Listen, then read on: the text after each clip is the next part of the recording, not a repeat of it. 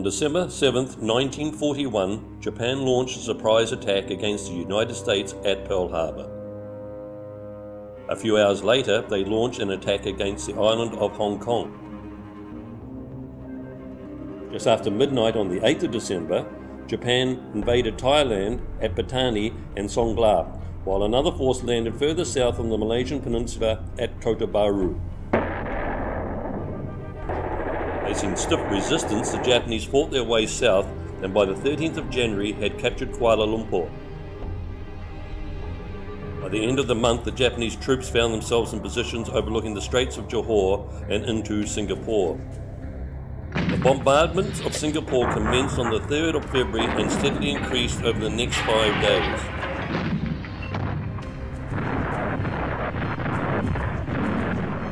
Japanese troops finally crossed the Straits of Johor on the evening of the 8th of February, landing on the northwest shoreline of Singapore and began their push inland. A short but intense battle ensued through the island, and by the morning of 15th of February 1942, the Japanese had broken through the last lines of Allied defence. At 5.15 that evening, Singapore was formally surrendered to the Japanese by Lieutenant General Percival at the Ford Motor Factory.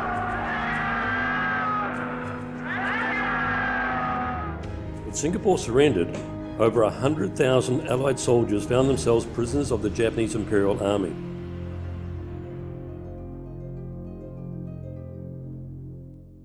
On the 14th of February 1942, to the south of Singapore on the island of Sumatra, a group of 260 Japanese paratroopers were dropped above oil refineries in Palembang. After the success of these air raids, larger ground forces attacked throughout Java, quickly defeating the Allied troops stationed there.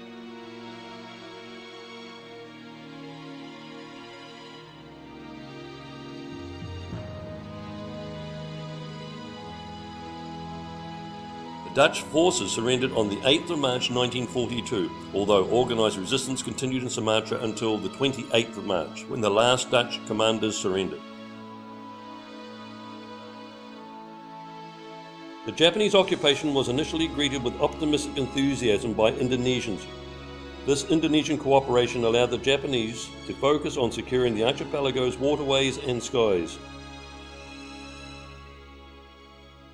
Japan, in search of resources and an alternative route to avoid Allied attacks, decided to extend an existing railway from West Sumatra to the east coast of the island.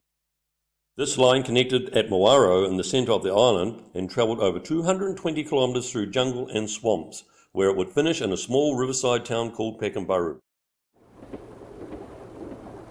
The original line had been constructed in the late 19th century by the Dutch and was used to transport coal and rubber from the resource-rich interior of the island to the port of Emma Haven located in Padang on the west coast. The idea of extending this line was not a new one. The Dutch had previously surveyed this area and knew it was possible, but due to the cost of the project and the economy at the time, the plans had to be shelved. To build its growing empire, the Japanese required a large workforce of civilian labour. With the promise of good pay, food and accommodation, large numbers of local Indonesians volunteered to help them achieve their goals. They believed the work they would undertake would not only benefit themselves, but also their country. These people became known as the Romusha, and in the coming years would work in some of the most horrific conditions.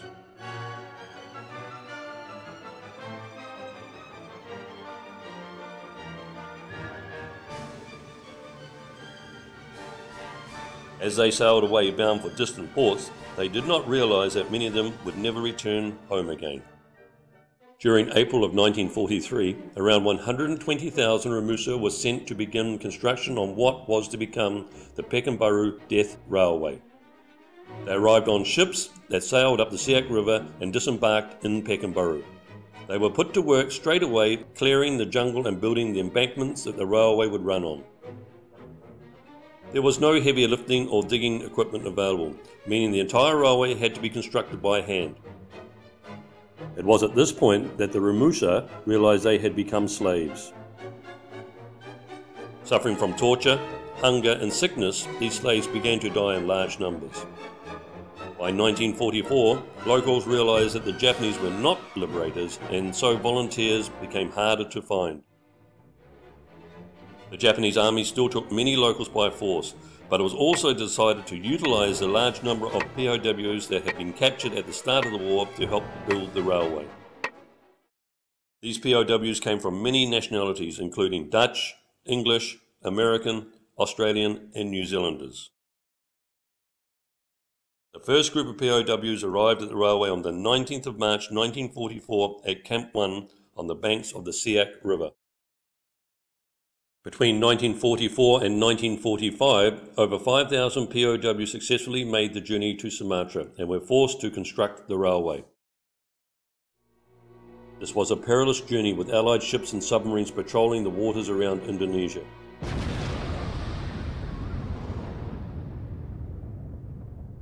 Japanese hell ship named the Van Waerwijck was sunk on the 26th of June 1944 by the submarine HMS Truculent with the loss of 198 lives.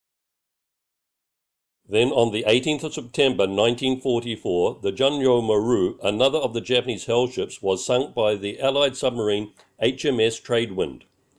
5,600 prisoners bound for the railway perished in this disaster. All of the prisoners worked under the worst possible conditions with no medical supplies and limited food. To their captors, they became expendable objects.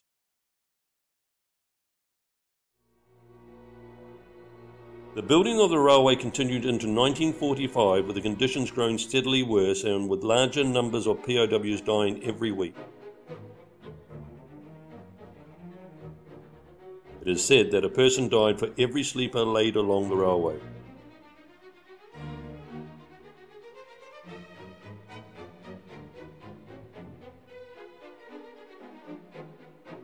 It was decided in 1944 to speed up construction of the railway, so work was started in Muaro heading east towards Pekanbaru through a steep gorge. On the 15th of August 1945, a small ceremony was held a few kilometres west of Camp 10. One year and five months after the construction began, the railway was finally joined. This was also the day the Japanese finally surrendered. The Allies began to reoccupy lost territory throughout Indonesia with landings along the coastline.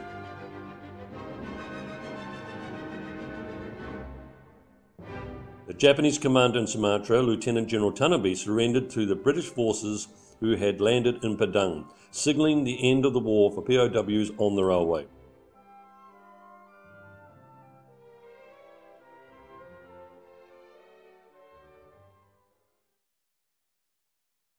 With the war over, the POWs responsible for building the railway were transported by rail from their camps back to the airstrip in Pekanbaru. The first outsiders to arrive at the camp, including Lady Mountbatten, found groups of men wearing loincloths and homemade shoes and looking like living skeletons. The Allied prisoners needing immediate medical attention were transported to Singapore for treatment. It took a further two months for the liberated prisoners left behind to be evacuated from Pekanbaru. The last left on the 25th of November 1945. It is estimated that 700 POWs died building the railway in Sumatra. It is also believed that fewer than 16,000 of the original 120,000 Romusha survived to see the end of the war, and even fewer went home. Within a few years, the bridges crossing the larger rivers, such as the Kampar Kanan and Kampar Kiri, had already begun to collapse, and the line was being taken back by the encroaching jungle. In late 1946, many of the Japanese who had themselves been taken as POWs at the end of the war were sent back to Japan after being released from prisoner of war camps throughout Indonesia.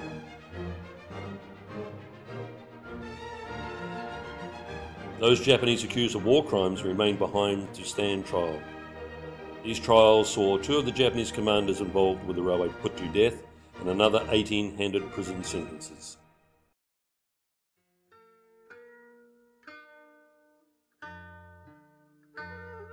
Pekanbaru is now a sprawling metropolis with a population of one and a half million people.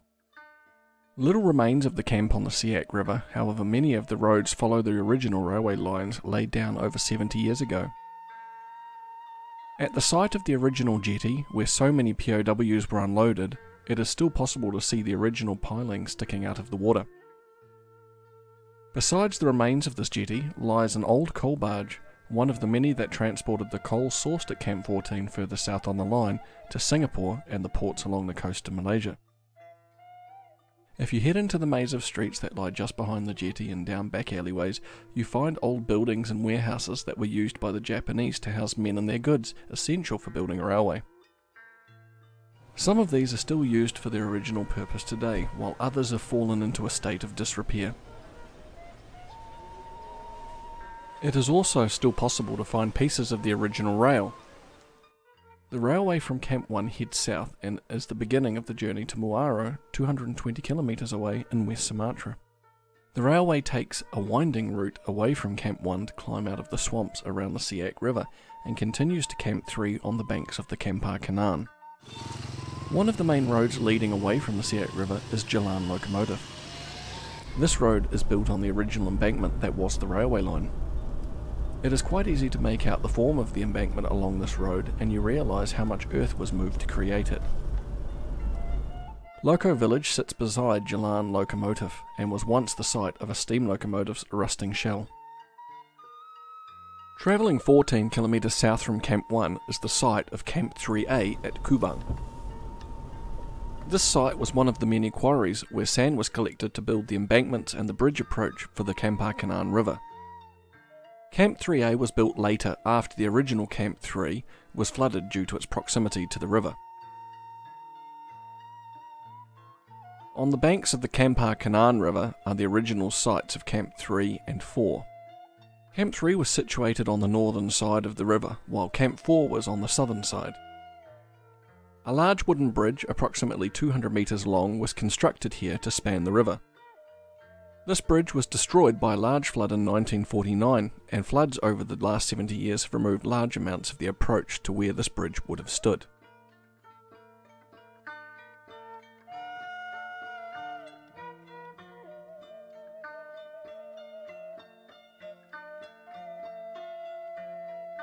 From here, the railway continues south passing through camps 5 and 6.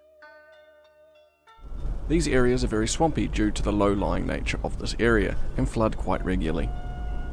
The railway runs beside what is now the main road south to Teluk Kuantan and in places has been turned into a side road for the villagers. Close to Camp 6, besides the railway, the remnants of a breaking down saw have been found.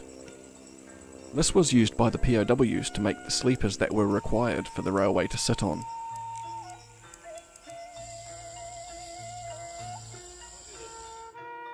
60 kilometres south of Pekanbaru is the Kampar Kiri River. This is the location of Camp 7 and 7A. These camps were built on the opposite sides of the river so that the bridge crossing at this point could be built from both sides at the same time. In 1944, during a large flood, the POWs that were camped here were forced to fend off logs and other debris that was impacting the bridge. Others were forced to swim between the pilings to release debris that could not be removed with long poles. The area outlined here is the actual location of Camp 7A. A short drive across the equator brings you to the location of Camp 7 on the south side of the Kampar Kiri River. Between rubber trees and amongst the undergrowth lies the remains of a rusting steam locomotive left behind at the end of the war. This locomotive was a C-54 class and was one of four that were brought from Java to Pekanbaru in order to transport coal from the mine at Camp 14 to the port on the Siak River. One of the C-54 locomotives still exists and is preserved at Ambarawa Railway Museum in Java. Close by are the remains of another sawmill of the same design as previously seen at Camp 6. This sawmill was larger than the last with extra saw pits being visible amongst the undergrowth.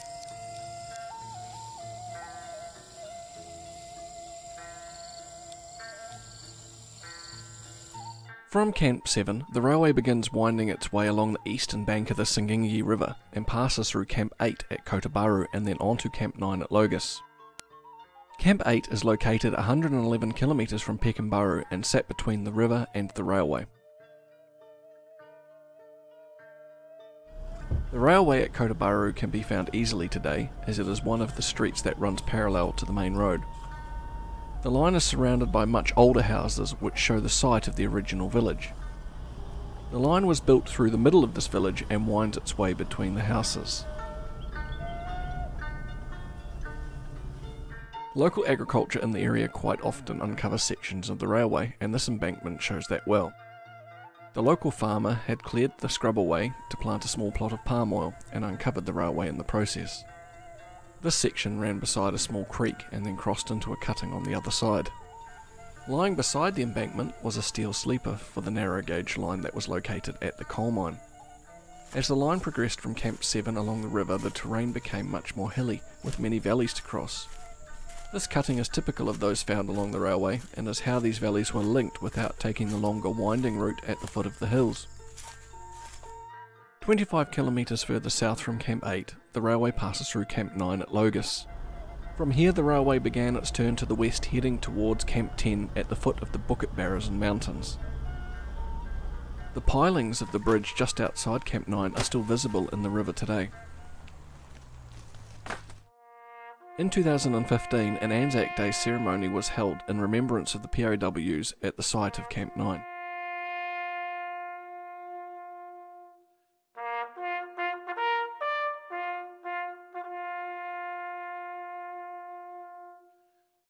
Between Camp 8 and 9 was the beginning of a branch line to the Sapar and Kurowi coal mines. This branch line took a relatively straight route, following the Tapi River west to the foothills of the Bukit Barisan Mountains.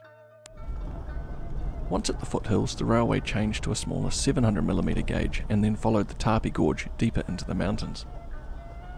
This section of railway used a small locomotive built by Krauss, which was transported from North Sumatra in 1942. It was numbered DSM 30, and this nameplate was sold to a collector when the locomotive was scrapped in 1998. Vehicle access today is limited to four wheel drives only, as the road is extremely steep and rough.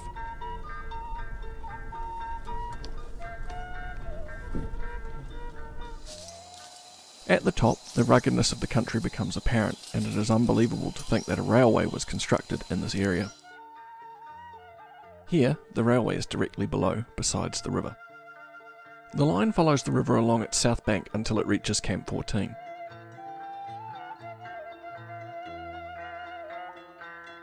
This part of the narrow gauge railway is cut into cliffs and passes through many cuttings. These cuttings can be extremely deep and very narrow. This line also had viaducts that were fastened to the cliffs in areas that were too steep to cut tracks and embankments into. The engineering involved in building this part of the railway surpasses that of any normal railway, but much of the information relating to it has been lost in history.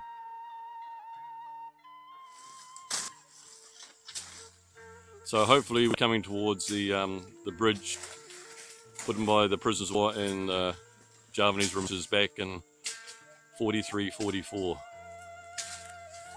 Once the foliage has been cleared, the effort required to construct these cuttings becomes apparent.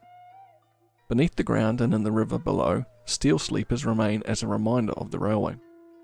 Some of these sleepers were extracted for preservation, and due to the steepness of the area, the easiest way to do this was to float them down the river.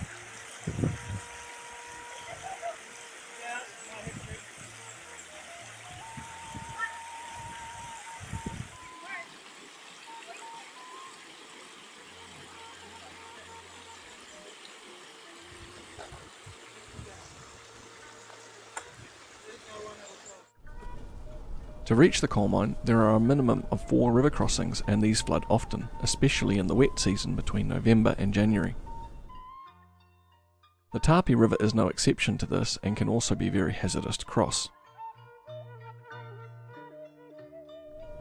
A group of 438 POWs made up of Dutch, English, and Australians nicknamed the Aceh Party for a road that they constructed in the Aceh province of North Sumatra were transported to Camp 14 overland and arrived here sometime around midnight in November 1944. Their first job was to construct a camp. This outline shows the location of this camp today. It is a large flat area set back from the Tapi River and is covered in palm oil. Many relics from 70 years ago are still easily located with the help of a metal detector as this site has been relatively undisturbed. Railway spikes are easy to find, but tools and electrical components also lie just below the surface. The electrical components show the scale of the operation in this area, as the electricity would have allowed for 24 hour work parties at the mine to extract the coal.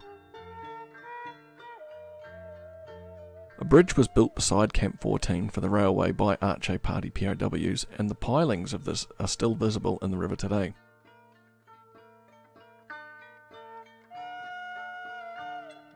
Travelling further up the river, a large flat area had been cleared, and it is possible to find a loading area where the coal would have been tipped from the hand carts that came from the mine into the waiting carriages of the locomotive.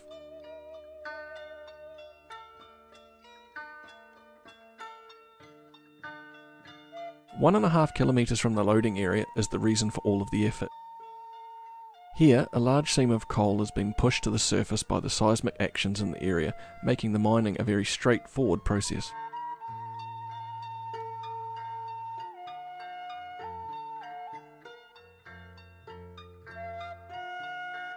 The coal here has been mined off and on since the end of the war and is still easily found just below the surface. In 2002, it was still possible to see the tunnels in the coal face, with small pieces of rail still lying at the entrance points.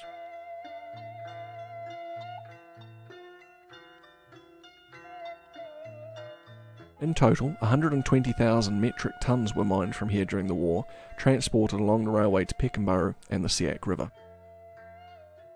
Back on the main line, the railway begins its trip west, passing through Camp 10, 11, 12, and finishing in Muaro at Camp 13.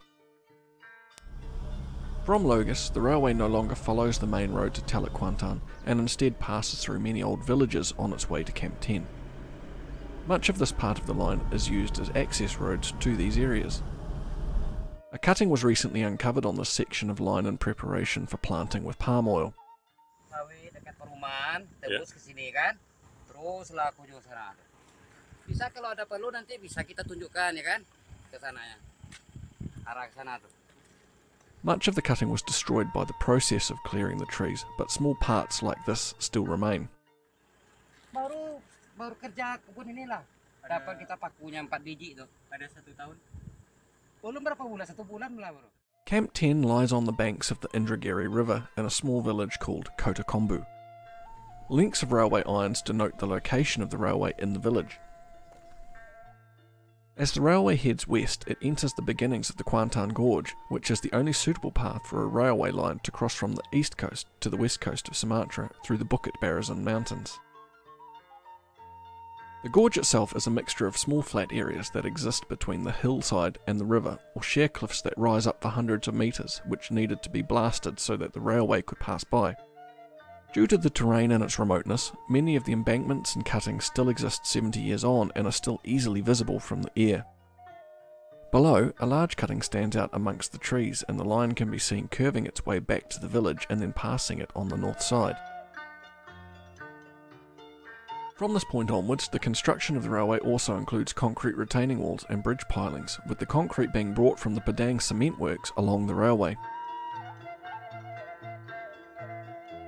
Entry to the cutting can be made by driving to the west end of Kota Kombu and then walking along the line through dense scrub and open rubber plantations. The cutting itself runs for almost 700 metres, with the deepest section being about 200 metres long. The undergrowth has covered much of the rock face along the cutting, but it is easy to see that it was cut through solid rock, with the walls being over 25 metres high in some points. This cutting bears a striking similarity to that of Hellfire Pass on the Thai Burma Railway and was probably constructed in a very similar way.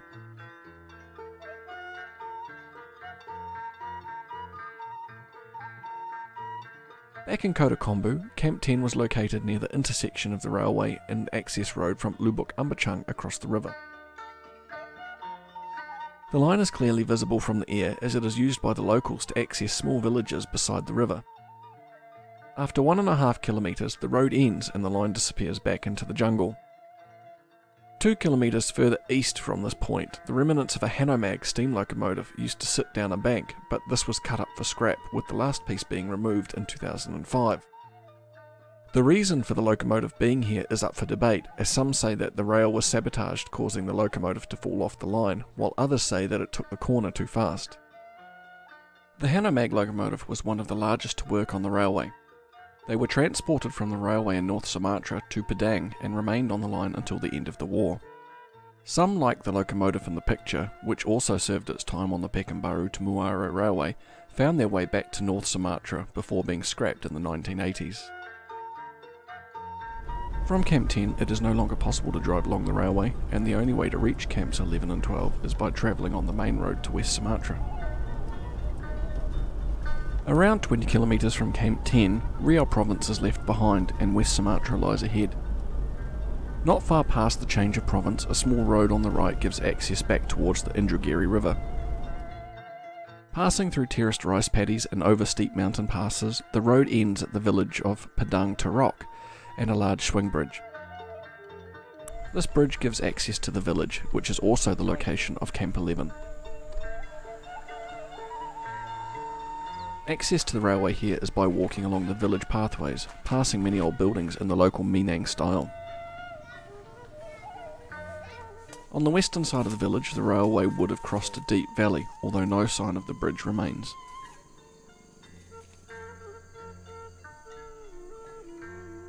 The railway heading west is visible below, having become the easiest form of access between villages before again disappearing into the trees. Some of the embankment in this area has been concreted at some point to give a smoother track. In one place, the track moves off the embankment due to a river crossing, but the railway continues into a small overgrown cutting. This cutting leads to a small, deep valley where there would have been a high trestle bridge.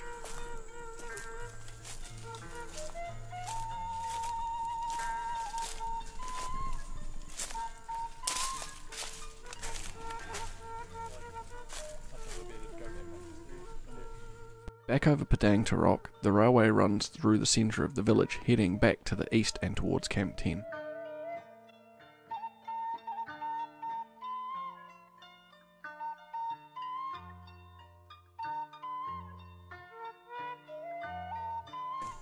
A short walk along the embankment through the trees and undergrowth allows access to the site of another large bridge, although all that remains is the concrete footings and bolts for holding the beams above. Not everything has disappeared though, as a small amount of railway can still be found crossing a creek, near where it is again lost in the jungle. The embankment to this point has been concreted, but still retains the unmistakable shape of a railway. Around halfway between camps 11 and 12, large concrete pilings are easily visible where a large bridge crossed a river entering the Indragiri. There are also large footings for a viaduct where the railway follows a cliff rather than constructing an embankment. Both of these sites require access to a canoe as there is no easy way of reaching these areas.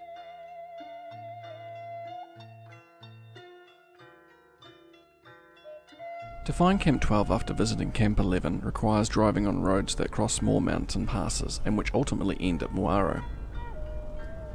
From here it is possible to follow the original railway besides the Indragiri River as it winds its way eastward. The embankment has become an important road to access the areas deeper into the gorge and the many gold dredges that work the area. Driving deeper into the gorge, the cliffs begin to grow on either side of the river, and large rock faces begin to appear that were cut through by the POWs to enable the railway to progress. The embankment in places has slipped towards the river as the large floods that frequent the area have taken their toll. Flat areas within the gorge are few and far between, Today, these areas are taken up by small dwellings for servicing the gold dredges or small rice paddies to feed the local population. This section of the railway was deemed difficult by the Japanese and cost the lives of many Romusha and POWs. Many Romusha were caught in rock slides created by the Japanese when they detonated their dynamite to blast tracks into the cliffs. Near Camp 12 is the grave of the famous Dutch surveyor W. H. de Greve, who discovered the Ombilin coalfields. On the 22nd of October 1872, he drowned when the canoe he was travelling in overturned in the Kuantan Gorge. The site of his grave is on the south side of the river across a small swing bridge. The gorge is also home to huge bats, which can be seen when they are disturbed.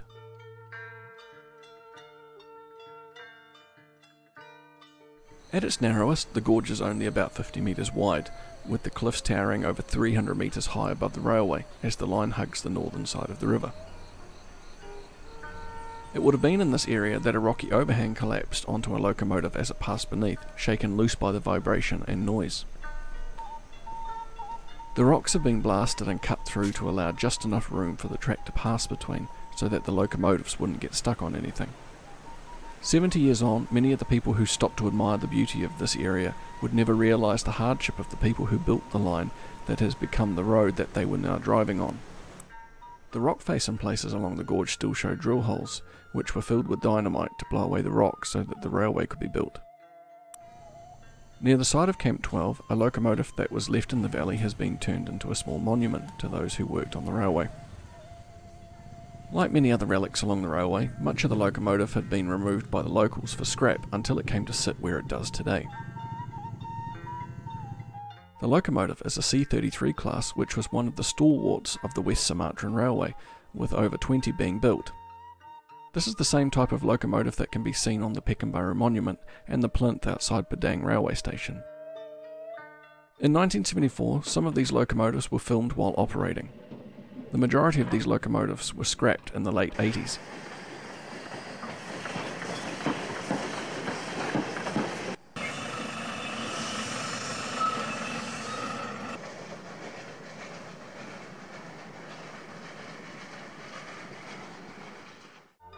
Behind the locomotive, a concrete mural depicts the building of the railway by the Romusha and their torturous treatment by the Japanese. In 2014, a local Indonesian broadcaster interviewed one of these Romusha who was forced to build the railway through the gorge. Ambo dulu setahun sampai dibawa oleh Jepang ke Sumatera Barat ini, yaitu ini sekolah kan. Tiba di Sumatera Barat ini, Ah, alat ini ada alat sekolah dia. Alat dia yaitu uh, yaitu jalan kereta api tahun 62.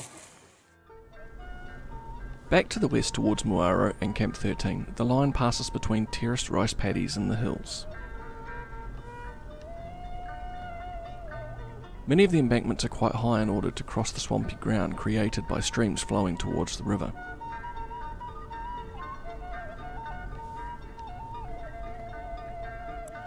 In many places, pieces of rail are visible on the ground which had been used to support earthworks or for bridges built by the locals to cross streams. As the track leaves the gorge, it arrives at Camp 13 and Muaro. Camp 13 was built very close to the Muaro railway station, the station itself had been built in the early 20th century, as it was where the original Dutch railway line from Padang ended. Many POWs arrived at the station after disembarking ships at Emmahaven, which was the local port at Padang. Many of them travelled down the railway towards Pekanbaru at this point to help construct the line through the gorge. The railway here still belongs to the government and has never been removed in case it is needed again. Two carriages used on the railway still sit on what would have been a siding besides the station. They have been converted by the locals over the years to suit their own needs and have become part of the surrounding buildings.